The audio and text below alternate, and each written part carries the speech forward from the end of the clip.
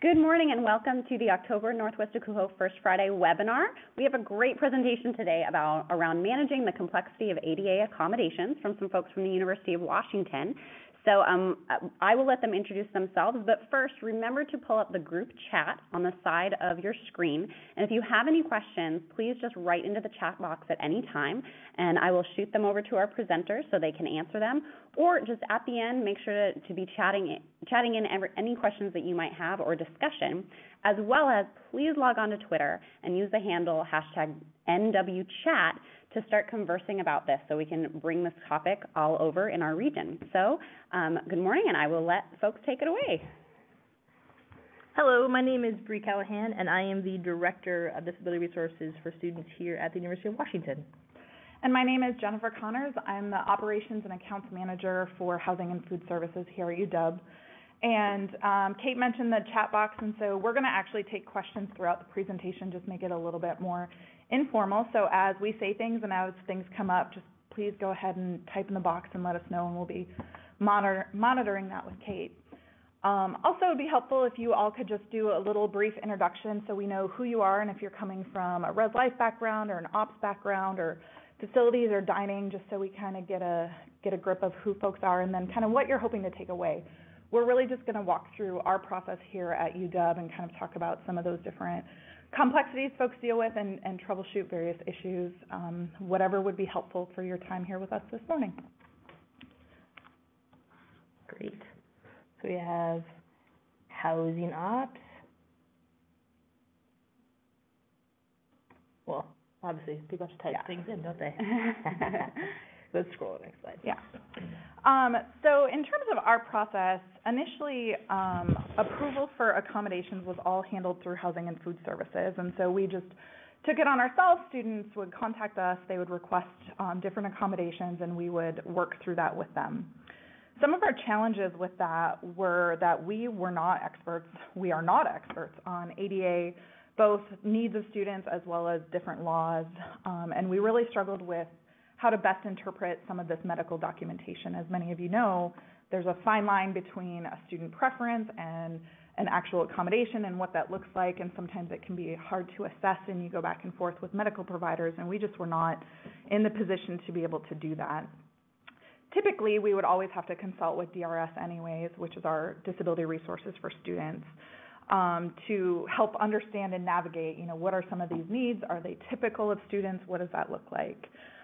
Our um, other challenge was we didn't actually want to store any of this medical records within our office. That's something that we very actively stay away from having. Um, so it was always an interesting um, mix of what do we do with that information once we have it, what's appropriate for record keeping, how do we document our processes, so on and so forth. So from there, we actually went to transition to having DRS manage the approval process without us. And so some of the challenges with that is they didn't essentially understand our process. While they knew the world of accommodations and disabilities and what we needed to do, they didn't understand the world of housing. And just for some additional context, we're operating um, with over 7,000 beds. We always open in autumn with a waiting list. I mean, we're crammed full of students. So our processes are very defined and outlined and consistent. And so trying to navigate some of these um, one-offs or special circumstances can get a little bit challenging, especially if you're not that's not your day-to-day. Um, DRS would often approve accommodations for something we didn't really have. So we'd say, you know, a student would come in and they would need a single room with a private bath and a private kitchen. Well, that's not something that we had at that time. It's not something we necessarily have now. It's not something accessible and available to all students. So we were stuck with this uh, situation where we were being told we had to provide something that we just didn't have in our inventory. And then sometimes the accommodations that were approved could have simply been handled by having a conversation between the roommates or some sort of a roommate agreement or involving our residential life staff to be able to just facilitate a normal conversation around conflicts or personal preferences or who gets the top bunk or the bottom bunk or whose fridge gets to go in a certain location. So we didn't we found that we were putting a lot of effort into um, a process that maybe didn't necessarily need to happen. So where we're at now is we've actually found a balance between the the two, and it's taken many years, but it's happened. Um, definitely a lot of struggles along the way, a lot of difficult conversations between Bree's priority of advocating for the student, my priority of advocating for housing operations. Sometimes it flips and I'll advocate for the student and she'll advocate for housing operations, you know, getting our AGs involved when it comes to some of the more complex issues that we're dealing with now, such as um, animals and breed restrictions and those those type of things. So um, in the end, it's definitely resulted in a really good working relationship between um, both of our offices and us. Um, and so to keep in mind, our process is always evolving. I think this is something we probably revisit the process maybe three to four times a year on a quarterly basis. How are we doing? What needs to evolve? Some of it's driven by feedback from students, some of it's driven by feedback from us, some of it's driven by the ADA laws that are changing or different policy recommendations that are coming coming down. Um, some of those examples would be our medically related dietary restriction process has been something we've been putting a lot of effort in. Um, and we actually have what's called reservable kitchens in some of our buildings now, so we've had to develop a process for students and how they access those and what does it look like and key checkouts and agreements and cleaning and all, all of those type of things. Um, but because of the good relationships that we've established with DRS, it's really easy to have those conversations and then also facilitating all of those conversations with our different um, Um, units across housing and food services. So the only things I would add to that, just to, so you know about our living spaces, is we are not a, a freshman required housing. So I don't know if any of you have a, a requirement for on-campus housing for freshmen. That is not something the University of Washington requires. So that we do have a little more flexibility in some things that because we don't guarantee or don't require them to have on-campus housing. Those of you who are in those cases uh, might have a different experience um, or different things you have to meet just by having that on-campus living requirement. Um, we also have nine-month contracts and 12-month contracts in family housing. Um, and we're blessed with a lot of new buildings. I know when I started here three years ago, the master plan um, was already in progress to remodel lots of buildings on campus, which gives us a lot more flexibility in terms of the spaces that we now have versus some of the, um, I'll call them traditional living styles uh, in a residential um, hall. So there's, that's just for you guys to know uh, in terms of what we're working with on our campus. So I know those can be um, sticking points on other campuses. Looks like we have some housing operations folks and some res life folks uh, on the call. So that's a great balance between the two. So before they apply, um, my my job, which I uh, tend to see a lot of students or their parents. Let's be honest, it's their parents who have questions or anxiety before. Uh, because we're a quarter system, we see a lot of folks in the springtime before fall. Um, so we're trying to manage their anxiety of their their child going somewhere without them, or the the student just not knowing how to transition to college. So we're trying to manage how to uh, be communicative with them um, as in a uh, informative way, as well as um, get our needs met with our deadlines because we have certain protocol, as you guys do as well. Um, let's see. One of the things that we balance a lot um, is we'll see parents come in and they want to know exactly what their student can get. They they have a predetermined idea of what they need, what things were like at home, um, and are very much kind of almost in a, a sense demanding that we give a student um, you know, a, a clean kitchen where they're the only ones that can have things and their roommate can't bring peanuts in the room and all these different type of things. And they want this information resolved immediately. And so it puts us in a challenging position because a lot of times they'll end up at housing first because that's where their questions are. And so for us, you know, my frontline staff is not always equipped to have these conversations because it's usually handle, handled by management when it comes to that type of stuff. So they talk generally about the process and options, but that's not always um, satisfactory to the parents, so they're often escalating. And then when they get to me, um, I can't tell them what they want because we haven't received any of their documentation. DRS hasn't looked at anything. I can't take a parent's word for what their doctor's actually going to say that the student needs. And so it's always a very nebulous conversation to try to talk with them about here's what our process looks like, here's what you can do. Here are the range of things.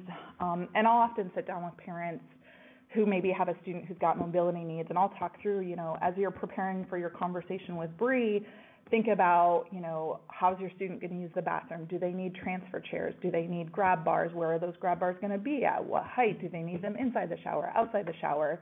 Um, you know, how are they gonna get in their door? Where are they gonna store their equipment? Are they gonna be able to reach the top bar in the closet?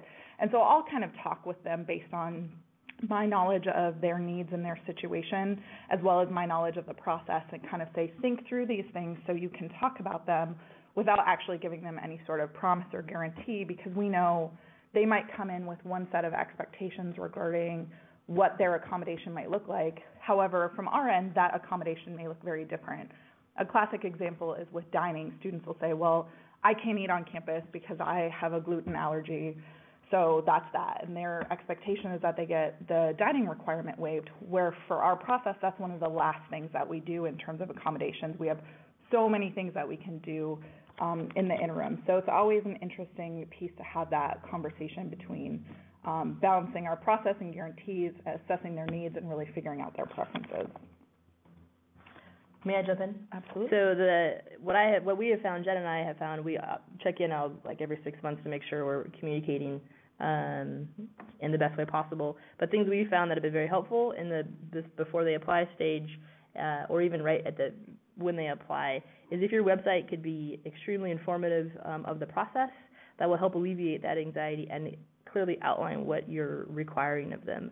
Um, students with disabilities uh, specifically if they're incoming freshmen, they're they're most likely in school through May and June. They may not be thinking about deadlines that are actually pending in May or June um, for housing, uh, which are there for very uh, legitimate reason for us to get assignments in place.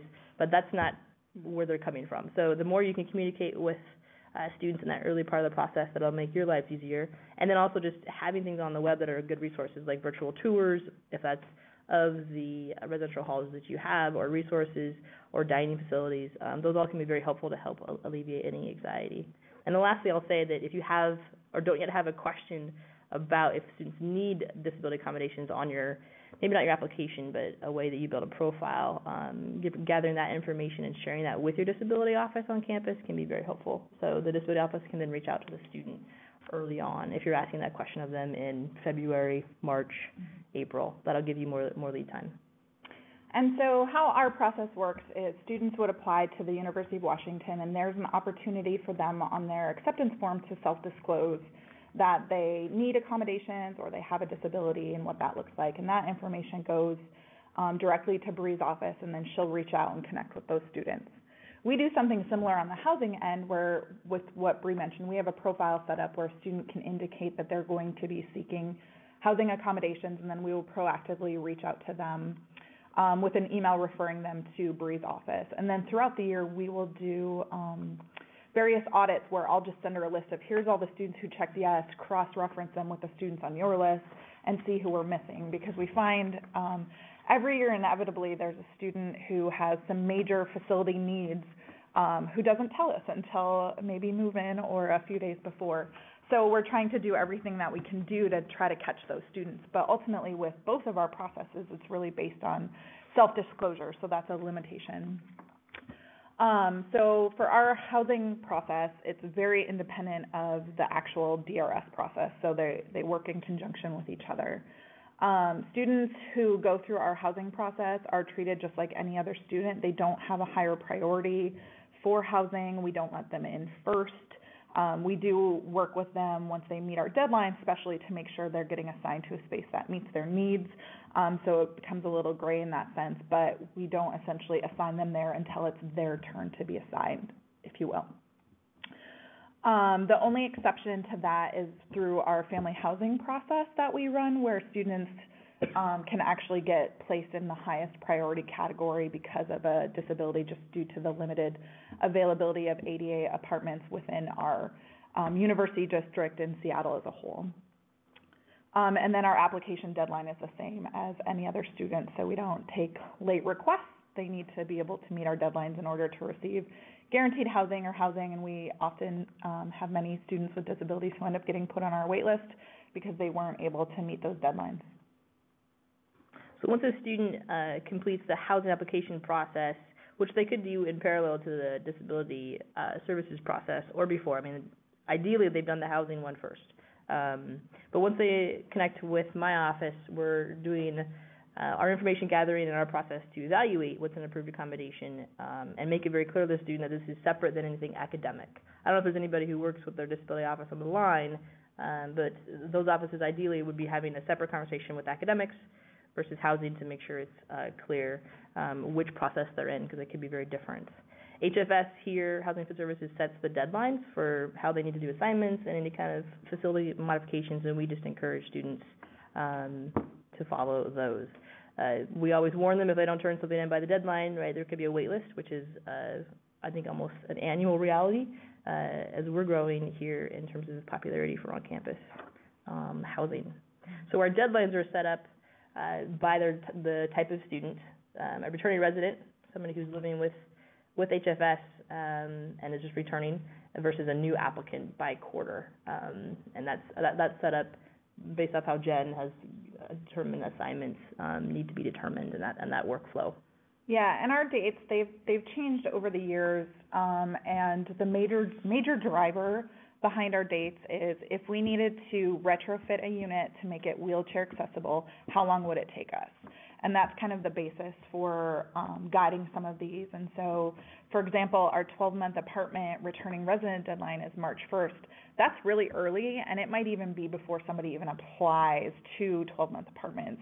And that's because those are occupied all year round, so we need to be able to pull it offline. We need to work with our facilities to ensure that the unit that we're picking is, um, if it needs to have an automatic door panel associated with it, we need to make sure it's in close proximity to, um, the electrical closets because of wiring issues and all the different dynamics. And so there's a lot of different pieces to think about, um, as well as, you know, we do kind of this assessment for each of our buildings to figure out where's the best spot for this student.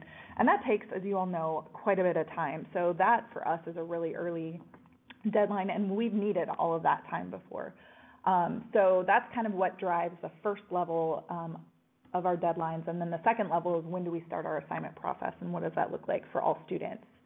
So for our new applicant deadline, you can see, um, they need to have all of their paperwork into DRS, and DRS has to tell me about that by June fifteenth. And that's because we're gonna start assigning, um, all of our students about two weeks later. And so we need to make sure we've got ample time to assign students to single rooms with bathrooms and, and work through all of those different pieces, as well as, again, make sure we can get our facilities and electrical work, um, on the books if that's something that we need to do.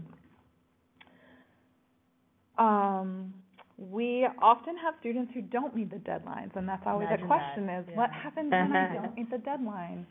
Um, so we will do our best to accommodate a student at every point that we can. However, there are some times where we have to accommodate a student, for example, a life safety issue.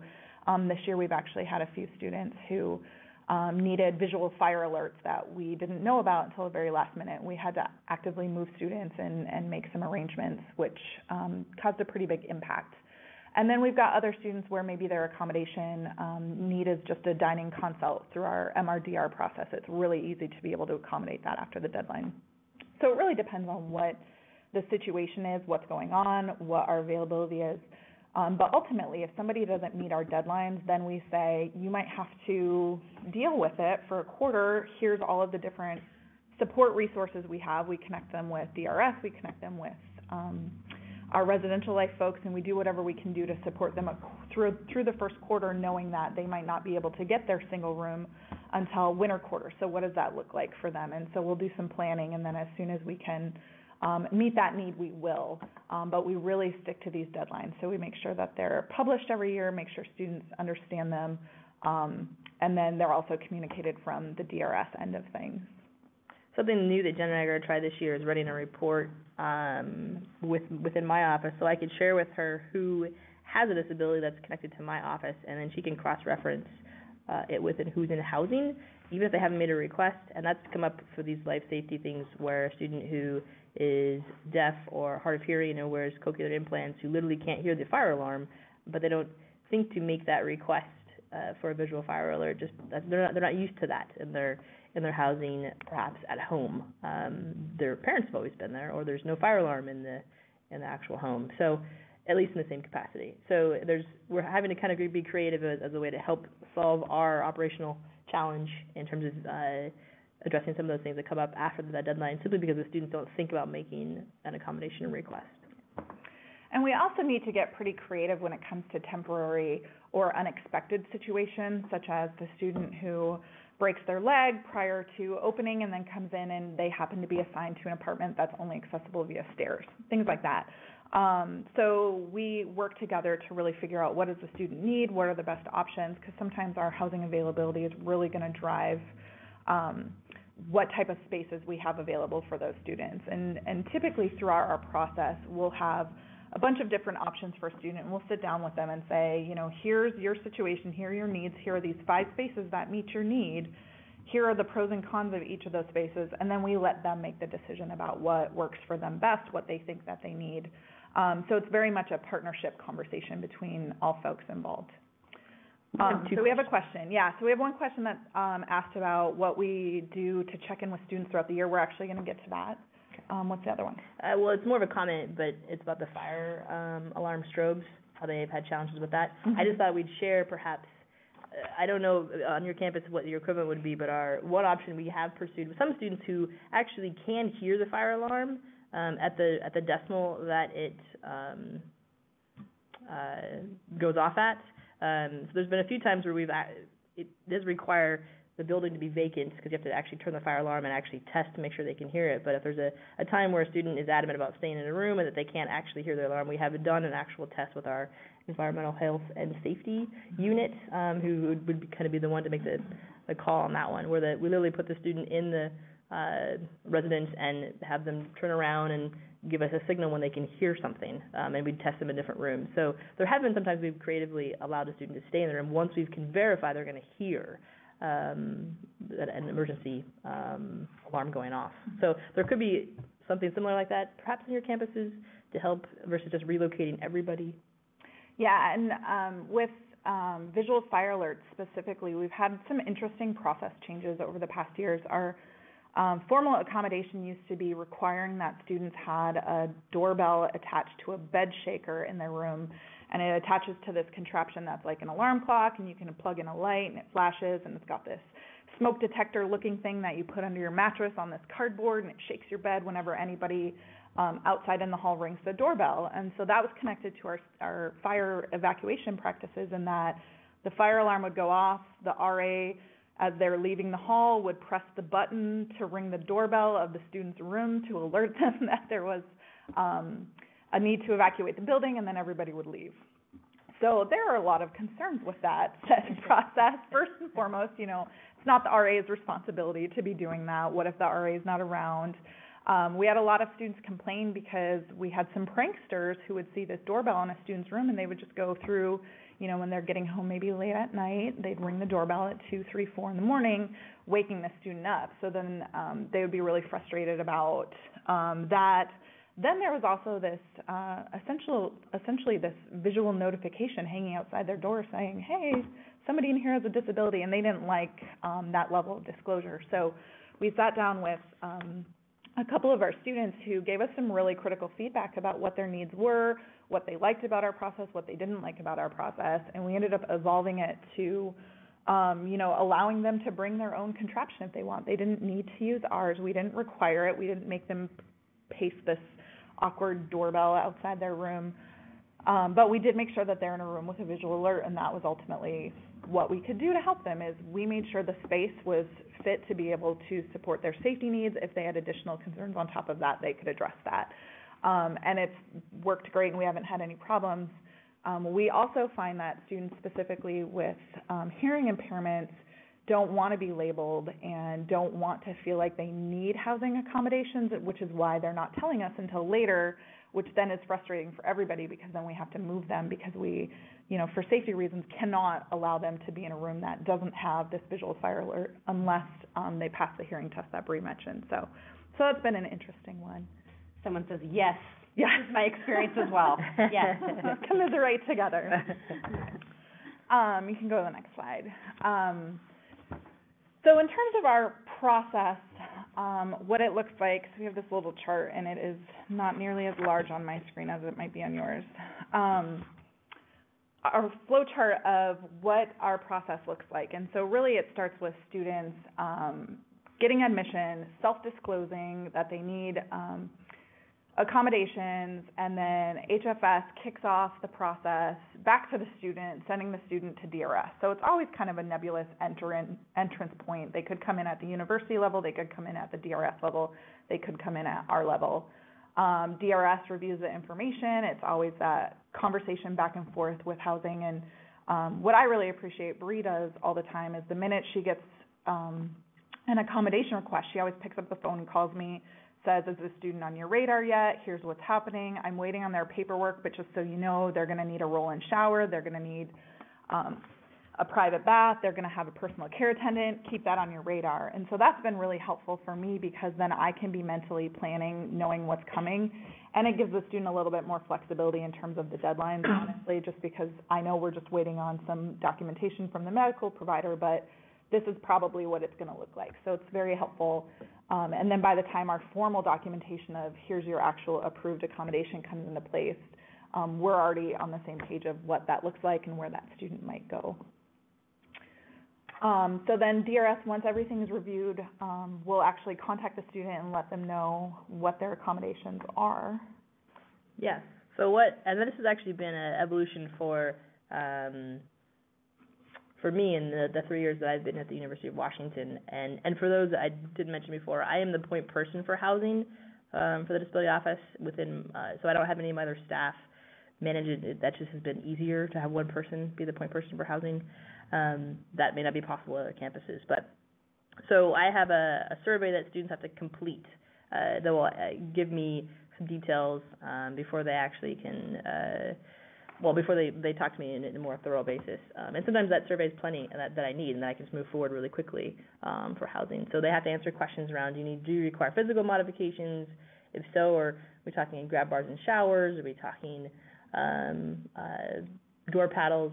If you're gonna have a, a service animal or a therapy animal, um, what's the breed? Is it already vaccinated? Do you have the vaccination report? If you're have a personal care attendant, um, is it, is it a student? Is it somebody outside? So I ask them a series of questions, um, to get that information. So when I'm looking at it for the first time, uh, that'll get me more, more context to move very quickly, and in, in Jen's point, call her in case there's something there that, that, that comes up, um, And we actually forward. worked on developing the, that questionnaire together based on what are the things housing typically sees, how do we usually accommodate them, and kind of worked backwards to say, let's get that information on the front end. Because the first year of this process, um, when Bree and I were both new and doing it together, she'd say, hey, we need this, and I would be like, well, what about their mailbox? Can the student use a key? Does it have to be at a certain height? How are they gonna get their packages? And kind of ask all these questions, and she was always like, what are you talking about? Why are you asking me this stuff? So we decided to actually ask that on the survey so then we could start to get a better idea and it was just less back and forth and it's so much easier for us. So, um, it was really helpful to do that together, I think. It's also very educational for the students. I mean, I've, those on the call may experience this, or at least my, my peer group. Uh, freshmen don't have any clue about what they're gonna come and live in the space, nor do their parents, honestly. So having to ask them questions about the mailbox or about, uh, grab bars and showers, it, it helps them understand what they're walking into and how to best answer some of these questions. Um, and we've learned that asking them more upfront, and that it might be a more thorough questionnaire, uh, but it does get us down the path sooner, so we run into less bumps, um, operationally for any, especially, specifically for any kind of modifications needed to be in place for facilities. So once I approve the accommodation, it goes, um, to Jen and to the assignment process, and, um, they, she can speak more to it, but the accommodation is there and in place either on a temporary basis, if it's a temporary condition, or only for the year based off what I've, uh, got from the healthcare provider, or it's there on a, on a permanent basis. And so that's a part of how they assign, but they still would take into, uh, the process any preferences they may have. Um, so it's done in, those things can happen, um, collectively in the assignment process. Um, so in terms of some of our major accommodation needs, we've talked about some of the more, um, permanent facility modifications that might happen. Um, we also look at an accommodation of removing and storing furniture. Normally, all of our students have to keep every furniture piece in their room, um, but sometimes we need to make space for a student who maybe has a power wheelchair and a manual wheelchair, and they need extra space to be able to store their equipment in their room. So we'll do different things like that, or students who've uh, maybe needed to bring in a special bed or exercise equipment to work on um, various physical therapy pieces that they need. Um, so that's something we coordinate with our facility staff to do um, any of those temporary or permanent modifications. Um, we'll have different assignment accommodation needs, including being assigned with only one roommate, having access to the private bathroom. Sometimes it's having access to a bathroom where there are multiple stalls because maybe they need to be in the bathroom for um, a long period of time frequently throughout the day. Um, or maybe they need to be in a private space where they can change some of their equipment and things like that. Um, we also automatically approve all of our students with disabilities um, for early arrival housing so they can come onto campus early and get situated. Um, they still have to pay for it just like any other student would, but we just approve it knowing that sometimes it takes them a little bit longer to get acclimated on campus or to help um, address some of the anxiety that might come a- along with finding their classes, things like they that. get approved for that, but they don't, they have to still select. They still have to apply, yeah. Um, and then sometimes we will do rate adjustments. Um, so if we have a student who's required, or their accommodation is to be in a single room, um, since it's not necessarily their fault that they need to be in a single room, we will automatically adjust that rate of that room to that of a double room. Um, and so that depends on what side of campus and depending on their type of single, that's where some of that conversation with the student comes in of, what side of campus do you want to be on, what are your preferences, you know, here's what meets your base accommodation, here's what else we have available, and they'll kind of pick through what might work for them based on their preferences and their budget. Um, those are all of those. Um, we will also do, um, campus visits and meetings. Those usually come with, um, major facility modifications where, um, our interior designer and our maintenance crew will actually invite a student to campus, um, to walk through the room with them, to talk through all of those different, you know, how are you gonna get into the room? How are you gonna maneuver into the bathroom? How are you gonna get into the shower? And they'll actually, um, do that with them in early June, so then we can make sure we're getting the modifications correct. The one thing would be the Res Life connection in terms of when they get closer to move-in, but having the residential director or even the RA know, um, there might be a need to have a conversation with roommates, that, this could happen with somebody on the spectrum, the autism spectrum, uh, potentially, um, if they're, if they're choosing to live with a, with a roommate, or if there's an animal potentially involved, uh, or just other, other things that could come up. So we do have an accommodation where I just inform Res Life that a, a conversation may need to be had between the roommates, or at least to it, get involved very quickly if they can. The other one is uh, the list for the emergency evac. So we actually put a, a few different types of disabilities on the emergency evacuation list per building. Uh, traditionally, the mobility uh, students, if they you know use a walker, cane, um, or a wheelchair user, uh, if they're deaf and hard of hearing. Um, but we've actually started also putting students on the autism spectrum on this list. There's a lot, as the research is kind of growing on this population, they can get really overstimulated with lights flashing, lots of people moving in hallways, uh, and they may become paralyzed and have to just stay in one space. So um, we've begun putting all of them on the emergency evacuation list as well, um, not for mobility reasons, but for other reasons. And we also put on students who do have, um, service or therapy animals, not because we are legally required to do anything about that, but just so it's an awareness piece that there might be an animal with somebody, or if, you know, a student is having a really hard time during a drill because maybe their cat's still in their room, it's just something that we want everybody to be aware of.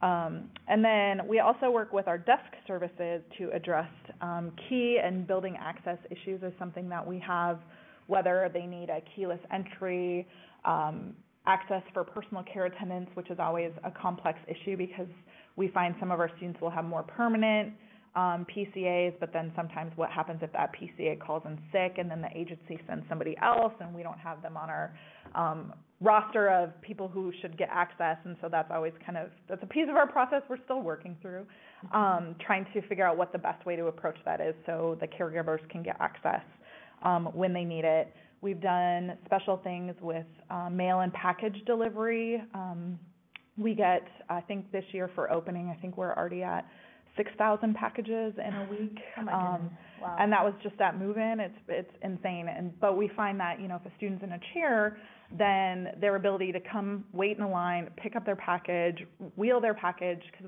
our, our campus is kind of set up more neighborhood-based.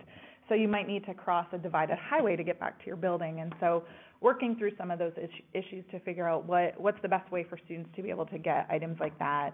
Um, you know, mailbox keys are really hard to navigate depending on what level your mailbox is. Sometimes we've actually had to physically move the box so students could, um, key into there a little bit easier, or we'll just collect their mail and hand deliver at the desk, um, are some of the different things that we do on that end. Um, I think those are most of the major accommodations that we tend to see or that we work with on the housing, um, side of things. Yeah. In terms of our assignment process, just a few other pieces to touch on. Um, we do, we have, um, started a roommate notification process specifically with animals. Um, because we've had a lot of different issues with students being allergic, students being afraid, students from different countries not really understanding why this needs to happen and it causing a lot of conflict later. So one of the pieces that we've been doing is anytime a student has been approved to have an animal in the room, we will reach out to the roommates proactively and say, hey, this accommodation has been approved, here's the type of animal, do you have any concerns about this? If so, let us know. And then if they do, we'll kind of work with all parties invested to figure out who, who's gonna move, because you can't have students live together if somebody's got a dog and somebody has an allergy to a dog, and it really just comes down to what other spaces are available, what makes the most sense. Sometimes we move the student with the accommodation, sometimes we've moved the roommate. Um, thankfully, it's always kind of worked out, because everybody's really understanding about wanting everybody to feel safe in their space. Um, this year, we also had, um, a more non-traditional animal, if you will, come live with us that we in our housing office were a little afraid of. Um, so we made sure to reach out to the students to say, hey, just so you know, there's, there's a therapy rat in your room. Let's talk about this, um, just in case they were afraid of that. And so, you know, we would, um, make sure that everybody is really comfortable with the situation. Other than that, we don't do any sort of notification. We don't even, and even with animals, we don't disclose whether it's a therapy animal, whether, um, you know, a student's bringing in a service animal, those type of things. We really just say, this is happening, let's have a conversation about, um, how this might impact you as well. Then we get into dining, uh, which is just as exciting. Um, and uh, those of you may be aware of the, the famous Lesley case, uh, that has definitely been um, causing our campus to relook at how we approach dining. But again, we are also not a freshman required um, housing um, campus, so we do have more flexibility in what we do versus I, uh, as I understand those who ha- actually require freshmen to um, live on campus. So if you're in one of those groups, you might have more work to do on that one. But essentially, what, what I do is, is the same process. I approve the accommodation. In this case, it's the a dining consult uh, for students, where they will then meet with um, a dining administrator, uh, the if not the executive chef, one of the chefs uh, in the in the region that they'll be living, because um, we have a large campus. Um, that way, they know the chef of the space they'll be most likely eating out on a regular basis. Um, and had that personal connection. The chef will then probably walk them through the mm, the eating space and meet other sous chefs or line chefs and staff, and that that's designed to make the student more comfortable.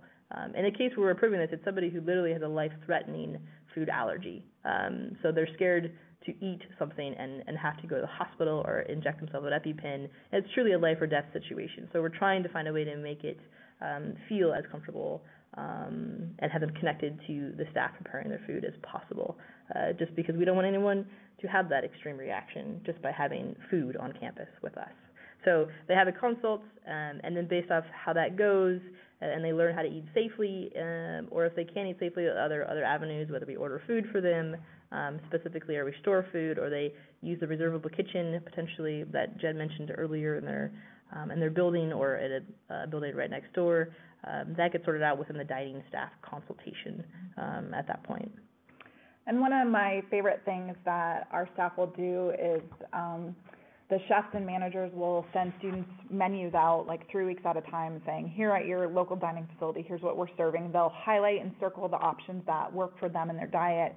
And if you as a student aren't interested, let's say you don't want to eat, um, you know, mushroom soup or whatever it is, you can just respond back and be like, I don't like this, can I have this instead? And they will actually specially make students those meals. So it's just more about um, planning and being proactive, um, but they're very accommodating and really want students to have a good experience. And they also want them to be able to eat those meals in our communal dining space because you know how important it is to be able to eat with your friends in your building and, and how we value that in terms of community building.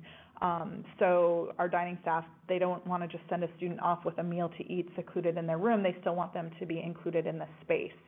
Um, so this year we've got a, meal prep area in one of our facilities where a student can take um, a meal specially prepared for them that's allergen sensitive, take it to this special area in our dining facility where they can reheat it, they can add spices if they want, they can do whatever kind of prep they need, and then they can take it and go sit with their friends at a table. Um, so we'll do some different things like that. Um, all of our different equipment is labeled and how we store items. Um, purple is our gluten sensitive storage container of choice. So um, our dining staff has all of the different shelving specifically taped off and lined and color coded to make sure you know you don't keep gluten flour located on a shelf above non-gluten flour so then it doesn't contaminate it. So they're very sensitive to, to cross-contamination issues and things like that. And so that's constantly evolving, but we've made a lot of um, really great progress in there if a student wants to bring their own items, we will give them a plastic tub. We'll put their name on it. We'll save them space in our um, in our storage facilities or in our walk-in kitchen or walk-in uh, refrigerators, and then dining staff will assist them in getting that. Um, if they need it too, we'll do special ordering for them, all sorts of different things. Um, the very, very last thing that we ever go to is waiving or reducing the dining requirement, since it is a fundamental component of our program. Um, but hopefully that gives you an idea of um, things that we could do up into the interim to be able to help support students without needing to, to waive that. If anybody's on the call who works with dining, there is a Serve Safe training for allergens that have that has come out now, and I'd recommend people take a look at that if they haven't yet looked at how to serve. And we're also looking at how you your your language of gluten free versus gluten sensitive is something to be mindful of. When you say gluten free, there's a certain expectation of that, and we've gone the route of uh, we have to make sure that we receive something gluten-free from the vendor. We've gotten really particular about when it actually is gluten-free uh, versus when it's gluten-sensitive. Uh, our chefs are of the mindset where if it's prepped here in our space, we cannot guarantee gluten-free because there's so many variables at play. So we're only saying things are gluten-free if it's something that has come from Bob Red Mill, for example, um, or other places that um, it's packaged and delivered to us in that space. So things to be mindful of. Um, so moving in, we've talked a lot about some of our prep, um, and on this one, I just wanted to touch on, once a student actually moves in, their needs might change, or they might realize, oh, I do need this grab bar, or this space isn't gonna work, or this community kitchen isn't gonna work. And so one of the questions was, you know, how do we work with students to continue making sure that their accommodation needs get met? We find that this is one of the biggest times that it's important to have staff available with the capacity to address some of these issues as they come up. Um, and that is to kind of catch because you know we're all busy folks and sometimes we might forget about um, you know adjusting the mailbox and then all of a sudden it comes up and trying to figure out some of that stuff so we definitely do a lot of problem solving and adjusting um, as the students moving in which is also nice uh, when they do come early because then it gives us a couple extra days to do that um, but either way we have a really good relationship with our facility staff to be able to um, navigate those problems um, and challenges as they as they happen. So then once a student is actually in here during residency is another time um, when we kind of check in with them. And so we don't typically reach out to students to check in to see how they're doing. Um, most of the students that um, have accommodation needs know me personally as sort of the face of the person who's going to help them with everything. Um, so one of my things that I try to do is really get them, you know, directly working with their custodial supervisor, directly working with their dining manager, directly working with their resident director, so everything doesn't necessarily get funneled through me. We've had mixed success with that, but generally speaking, I know almost all of our students um, by name. I know what they need, and so then they can easily come to me and say, "Hey, this isn't working," or, um, you know, we had a student who was having a difficult time opening their door, and they had done what students do, and they took this weird bungee cord contraption that they made out of their tights and tied this door open. And I actually called Kate and I was like, Kate, this is not okay. And Kate was like, this is not okay. And we fixed it. um, so we always have things like that that come up, or um, different times when we're doing maintenance in our buildings, if we get, if we know that there's fire alarm testing, we'll specifically reach out with stu- to students to let them know of that. Um, if we've got plastic, this came up one year, we had plastic laid down because we were working on the fire panel and it was getting caught in a student's wheelchair. So we would make sure that that gets moved. So there's always def- different troubleshooting, and so my focus is really trying to help empower the student to let them know that if it seems off, or it seems weird, or it's, if it's not easy for them, that's a problem and we wanna know about it so we can address it. We had a question, um, University of Washington, how many students participate in your dining requirements, meal plan? Um, off the cuff, we have probably sixty-five hundred required dining plans. So we have, most of our spaces are required dining in our, our nine-month area, and then we do have some apartment style in our studios that are dining optional, but roughly speaking, we've got sixty-five hundred required dining plans, and then probably another thousand students who have the opportunity to opt in or out. Um, that's real rough, I should probably know that number off the top of my head, but I don't. Um, in terms of waiving a dining account in a required area, we have done it once in four years. So to help you all understand, we, we don't go there. And even that was a big negotiation and we tried to, to reduce before we actually went to that level, so. And we only have, I'd say, probably, um, I mean, of the eighty students, I think that we work with on a regular basis every year right now, I think about a third of them, um, have uh, some sort of dining component, so we're still talking under thirty mhm. students of that sixty-five hundred. Yeah. Um, can you go to the next slide?